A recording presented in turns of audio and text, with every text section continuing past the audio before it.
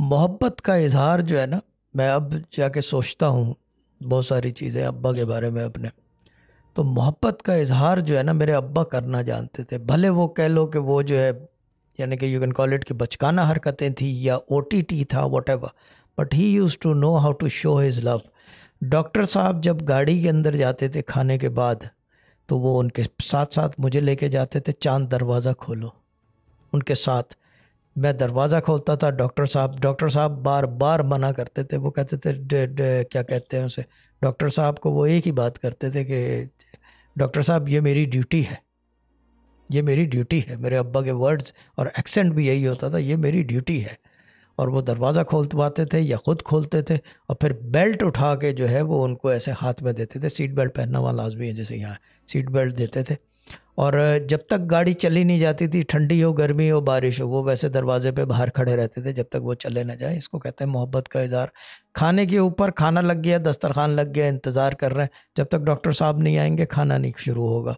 यकीन करें, किसी के मजाल है कि किसी के माथे पे बल भी आ जाए, इतने तीस चालीस चालीस आदमी दस्तरखान पे होते थे, एक दस्तरखान पे, एक नशिस्त में मजाल है कोई एक समोसा या पकौड़ा या पानी का गिलास उठा ले। नो, हमारे अब्बा का बड़ा अजीब निज़ाम था, ठीक है ना? यानी कि पुट इट दिस वे कि मैं उस दौर का आखिरी आदमी हूँ। Yes he was the last of his kind अब नहीं नज़र आएगा कोई भी इस तरह का। ये मैं गारंटी दे रहा हूँ, दावे के साथ यहाँ लाइव बैठ के बोल रहा हूँ you can not see any one like him कि उन्होंने कॉन्कर की हर चीज़ को, जिस चीज़ को उन्हें, जिस चीज़ को उन्होंने शुरू किया, उसको इरतिका तक पहुँचा दी। वज़ाइफ शुरू किए तो पूरे वज़ाइफ से लेकर कोई हिस्सा ऐसा कुरान का नहीं है कि उन्होंने वजीफ़े की तरतीब में ना पढ़ के देखा हो कि इसका इफ़ेक्ट क्या है। इसको इर्तिगा कहते हैं।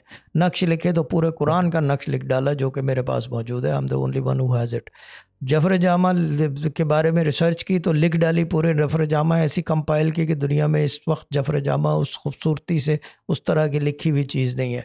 ज़फ़र अहमर जिसे सहीफ़ा फ़ातिमा कहते हैं द रेड बुक वो जो है लिखी तो उसको ऐसी लिख डाली कि वो कोई अब सोच नहीं सकता कि ऐसी भी लिखी जा सकती है।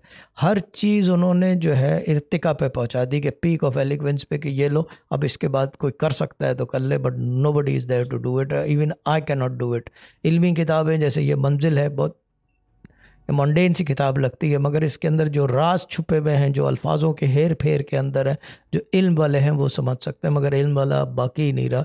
इल्म अब नापैद हो गया है ये। खैर, मैं तो अब्बा की बात कर रहा था but the thing is that कि if you ask me do you miss him I miss him every step of my life every second I miss him कोई ना कोई चीज़ ऐसी होती है, मैं ये सोचता हूँ कि अब्बा होते तो क्या बोलते, डैड होते तो क्या करते।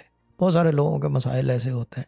अब ये कि मसाइलों की नोयत ही डिफरेंट हो गई है, लोग भी डिफरेंट हो गए यकीनों के पैमाने वैसे नहीं रहे। यानी कि वही बात है ना कि ये चीज़ है। चलो ठीक है गुड है ड्रामा क्वीन और